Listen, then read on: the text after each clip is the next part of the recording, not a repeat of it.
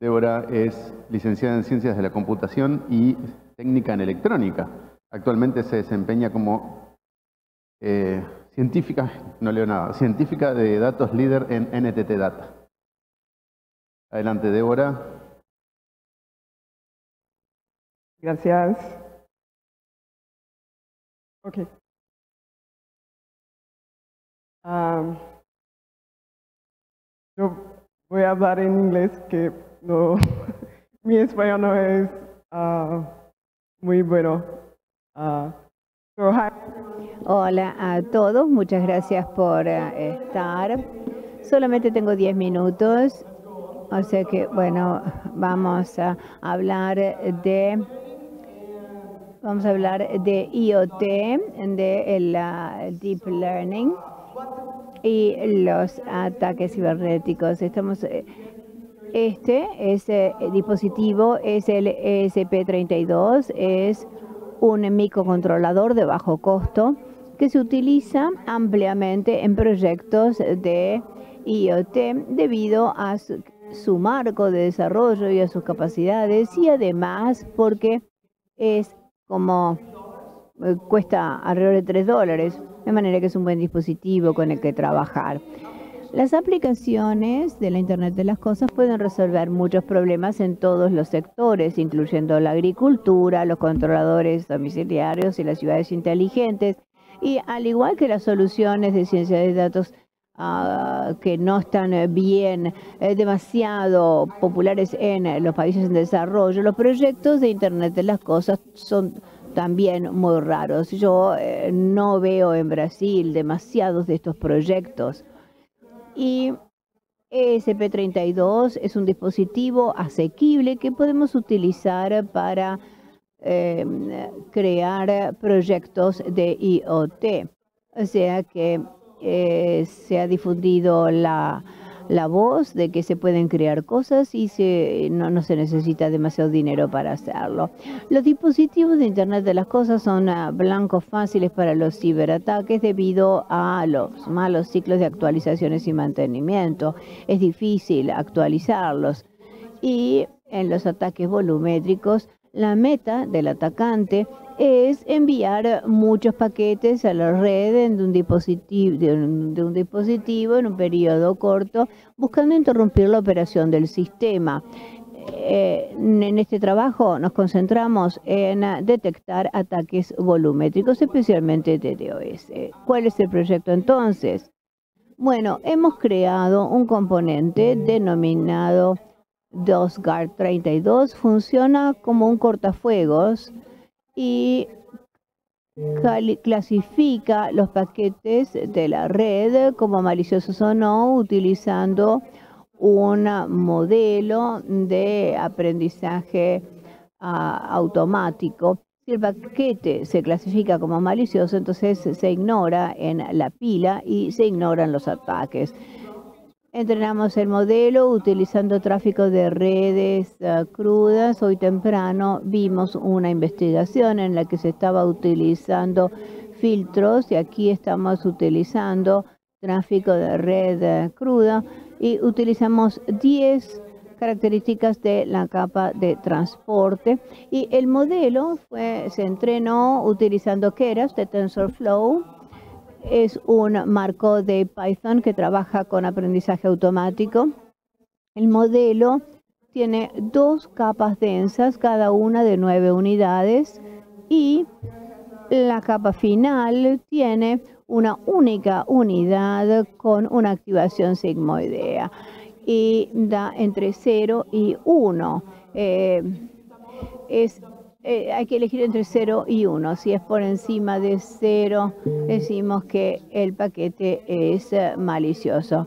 Y para computar la pérdida optamos por un ah, modelo eh, binario.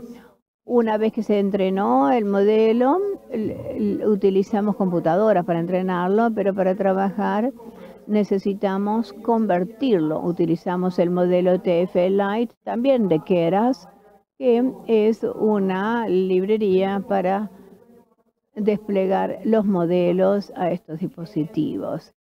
Después mm, también tenemos que convertirlo a un archivo C++, eh, permitiendo que el modelo se agregue a la aplicación de SP32 durante el tiempo de compilación y eh, para permitir el uso del modelo de Life. Los resultados. El modelo fue se entrenó eh, utilizando el dataset de IoT SIC de 2022 y la exactitud general del modelo fue 97%. Y 97% es bueno o es malo. Bueno, la respuesta de si el modelo funciona o no depende de la aplicación que eh, se ejecuta en el dispositivo y del sistema de IoT que está instalado. Queríamos verificar si el modelo estaba funcionando en otro ambiente, en otro entorno, entonces simulamos un sistema utilizando Python para crear un tráfico legítimo y otro eh, script de Python como atacante en un servidor UDP, en aplicación ejecutada en SP32. Y los ataques se ejecutaron durante 60 segundos en tráfico y el tráfico real ah, fue de 60 segundos. Aquí tenemos las cifras. Bueno, este es el principal diapositiva. El cortafuegos presentó una, una reducción considerable de 72.44% de los paquetes maliciosos eh, procesados. Prácticamente un 73% de los paquetes se descartaron, ah, pero sin alterar el tráfico legítimo. Si tuviéramos los mismos resultados que tuvimos en, el entrenamiento, estas cifras deberían ser 99%.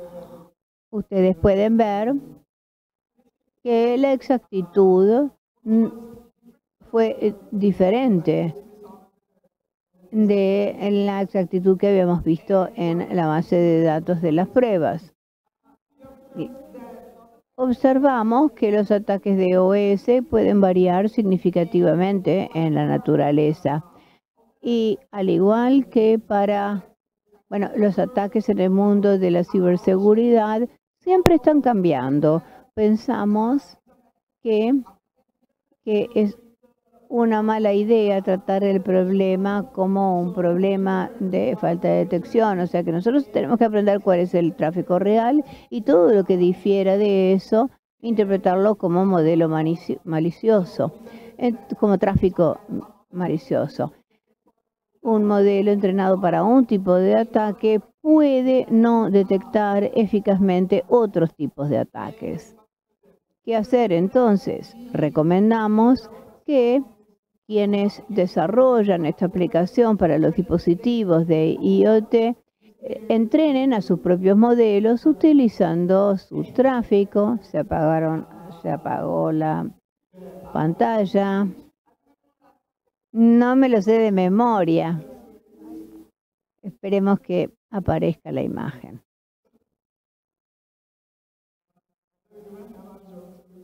Ni siquiera tengo bromas preparadas para contarles.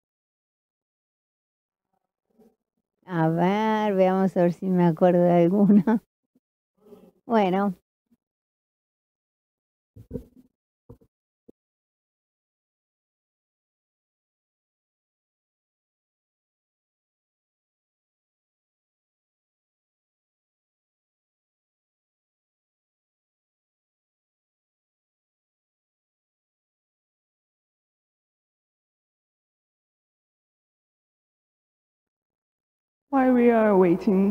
Mientras que esperamos, una de las cosas que, una de las dificultades mayores de nuestra investigación fue crear el conjunto de datos de capacitación porque teníamos archivos, ah, aquí volvió, teníamos ah, archivos para ver el tráfico real y también los archivos pickup con paquetes maliciosos y la idea era eh, ver de qué manera lo podíamos mezclar para usar en el entrenamiento y eso fue una dificultad y en el trabajo eso lo exploramos.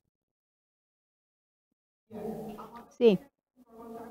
Un modelo entrenado para un tipo de, de, ataque puede no funcionar de manera eficaz para otro tipo de ataques. Y recomendamos que quienes los desarrolladores de la aplicación de SP32 entrenen a sus propios modelos utilizando datos específicos de sus aplicaciones y pueden utilizar esos modelos entrenados para sustituir el modelo por defecto en DOSGuard 32.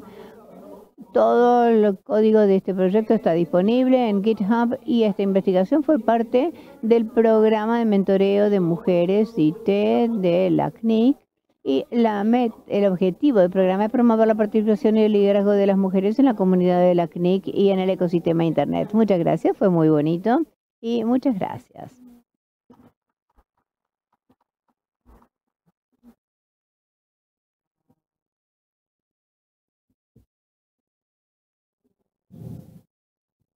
Muchas gracias, Creo que... por su presentación. Creo que tenemos aquí una pregunta en el auditorio.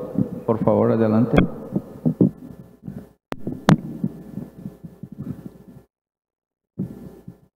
Vejo que você é brasileira. Veo que sos brasileña, así que voy a hablar portugués. En todos los estudios, en todo lo que presentaste y viste en cuanto a DOS, es veo que es, no es de DOS, sino de OS. ¿Llegaste a ver algún tipo de ataque de OS en IPv6?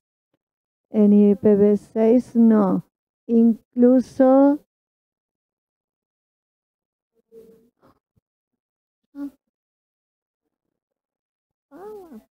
Voy a hablar portugués. Puedes hablar, hay traducción simultánea, quédate tranquila.